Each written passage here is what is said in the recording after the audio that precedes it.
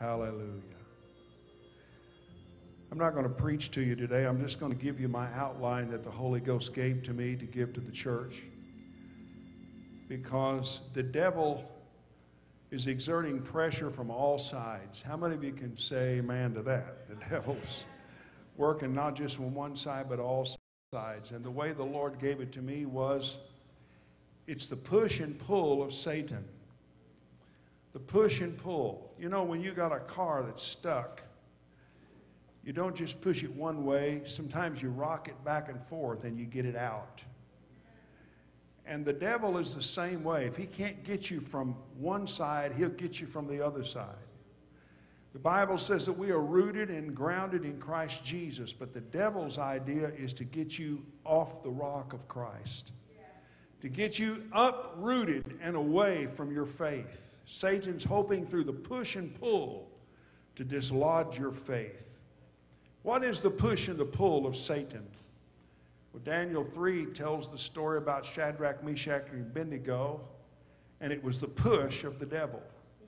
What is the push of the devil? It's the spirit of intimidation. The spirit of intimidation. The devil is out to intimidate God's people. And we're seeing that nationally. We're seeing that in many areas that are very visible today that there's a push of intimidation. And that, you know, if you're a Christian and you stand for the Lord, that you're got all these ugly labels put to you because the devil is trying to intimidate.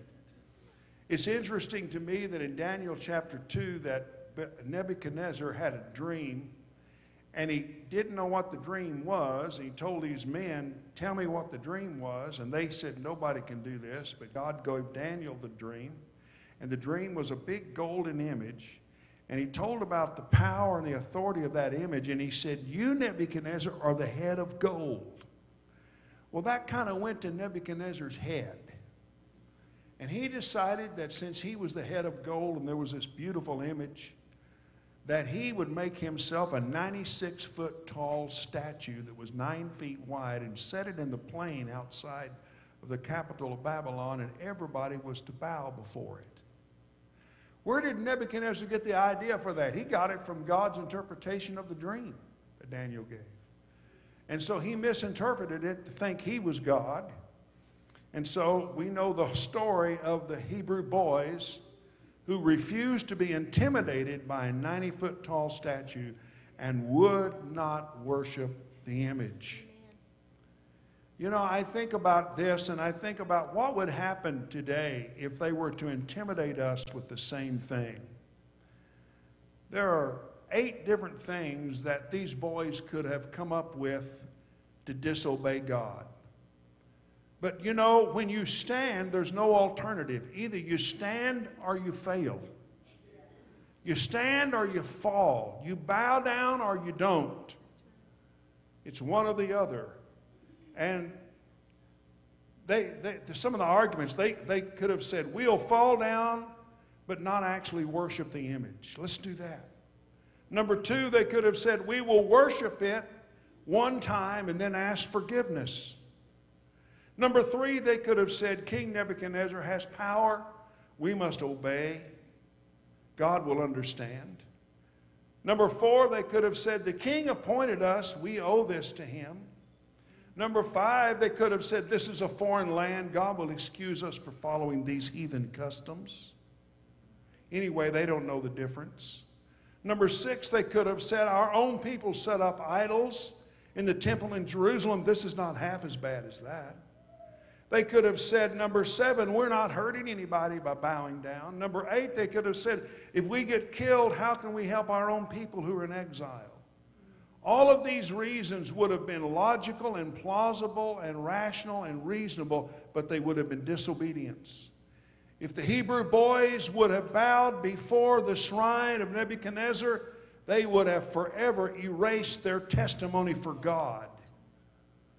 Daniel's second and third chapter would have been rewritten because these men would have written themselves out of the destiny God set up for them. Folks, let me tell you that compromise on any level is defeat for God's people. Stand true to God. Stay in your convictions. Don't let the enemy talk you out of what God has already put in your life. Because all the devil can do is stand outside and talk and harass you.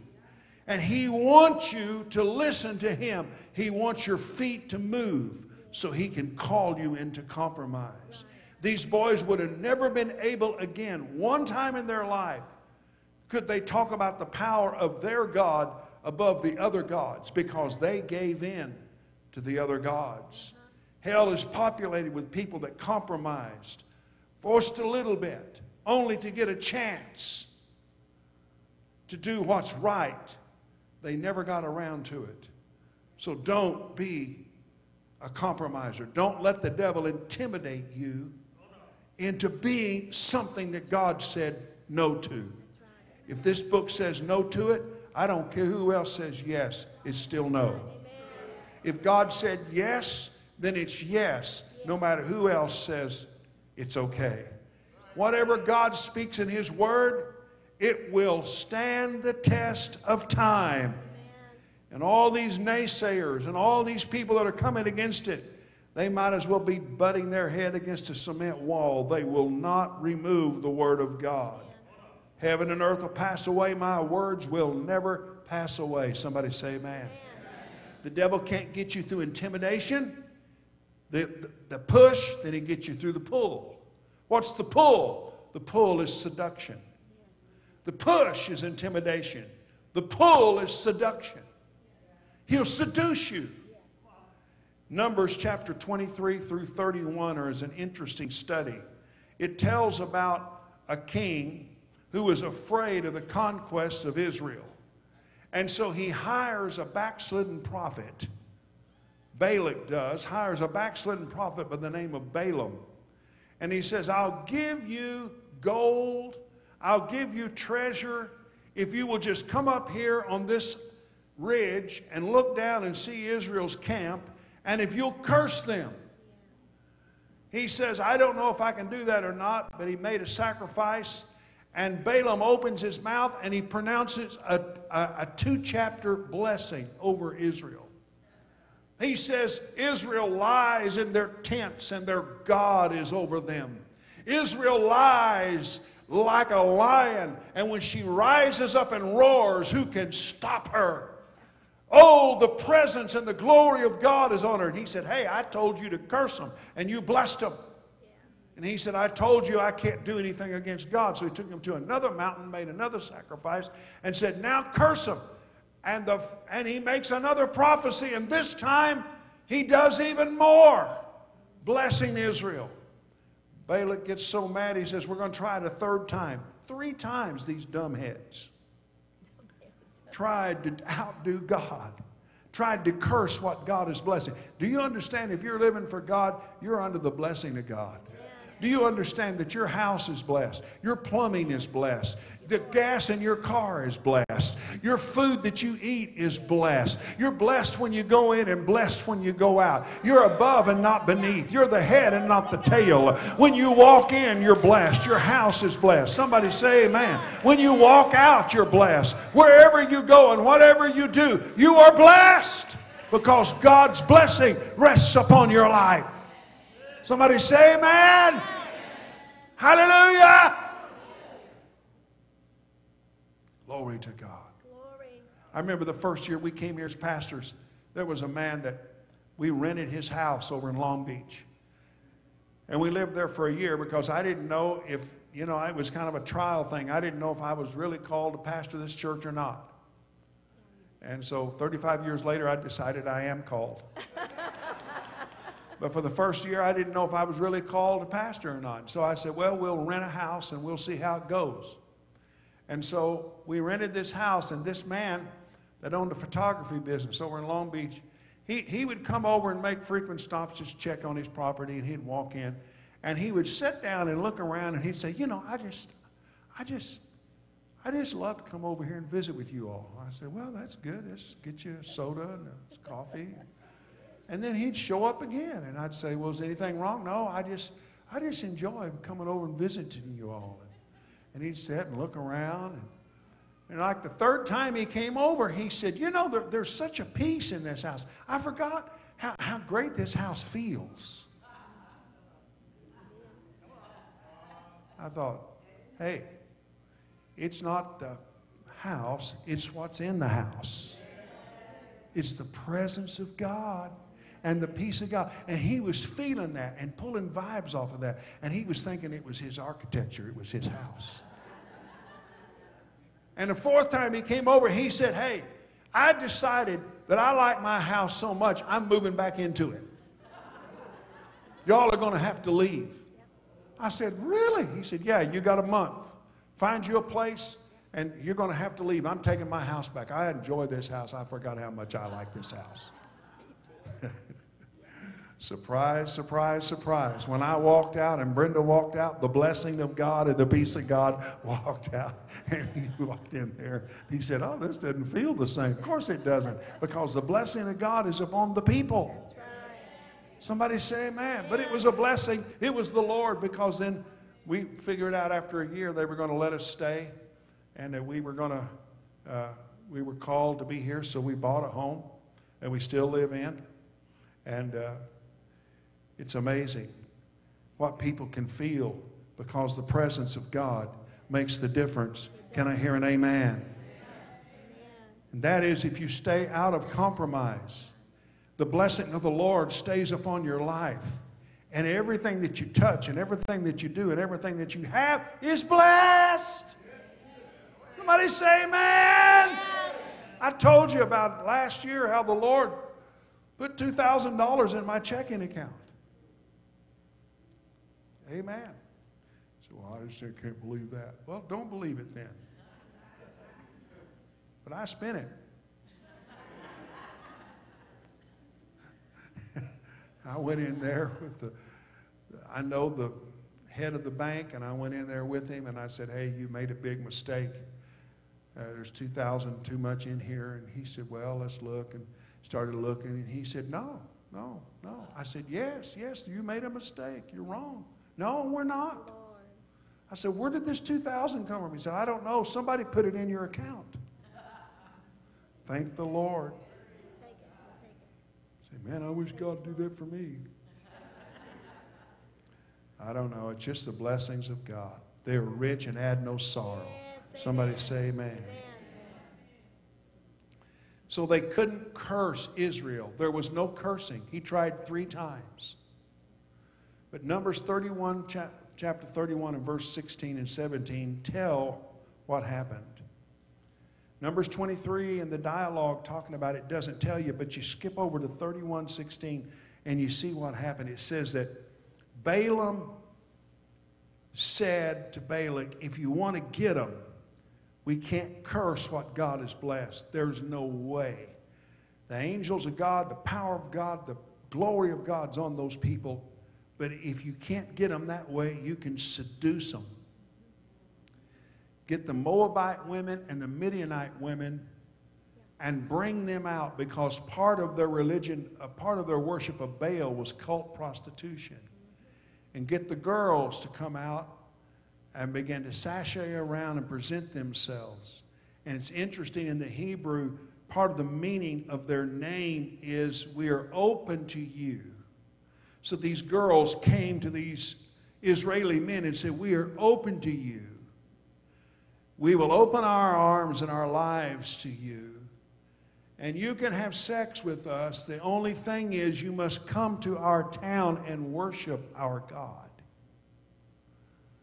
And before long, they were doing the very thing that the devil laid the trap for.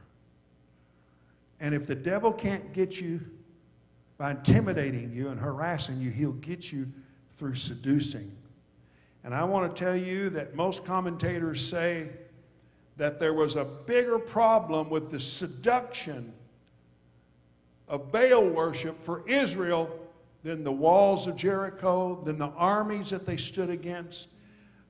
The, the, the powers of mighty armies and chariots could not match the power of the seducing spirit of the world. And folks, we've got to make sure that we are mathematically true to the Lord Jesus Christ. and we do not fall for the seduction of the world. Can I hear an amen? Today, people carry the name but not the nature of Christ. They call themselves Christians, but they're not in touch with God. They live only by just how they feel, not by their faith. God, help us today to be people that are not seduced into disobedience. Seduced, seduced. Why do you think Vegas looks like it does at night? It's all about seduction.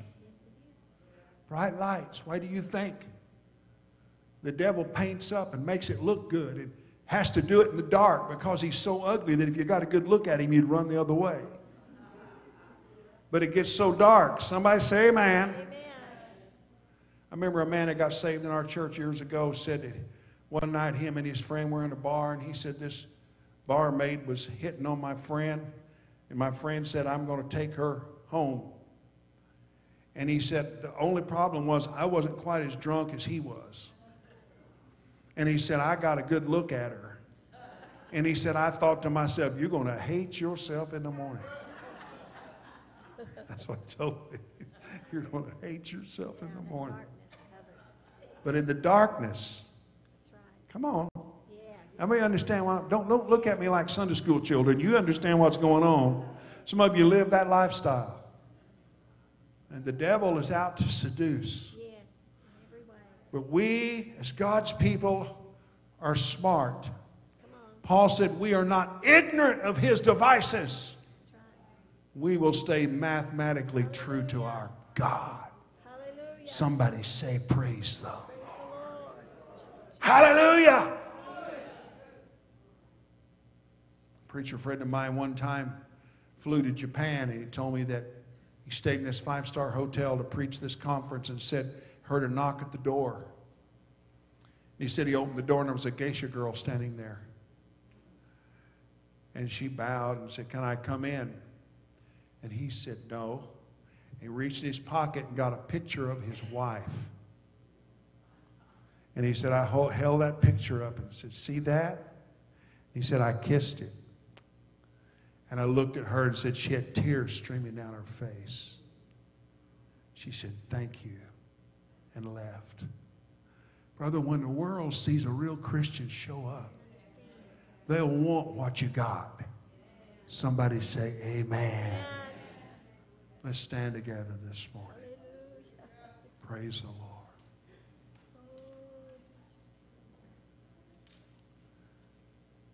Lord, I love you and I worship you. You're worthy Lord, I love you and I worship you. You are